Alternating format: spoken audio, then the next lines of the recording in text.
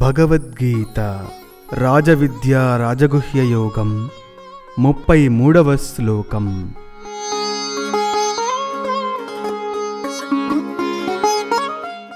కిం పునర్బ్రాహ్మణా పుణ్య భక్త రాజర్షయస్తథా అనిత్యమసుఖం లోకం ఇమం ప్రాప్య భజస్వ మాం.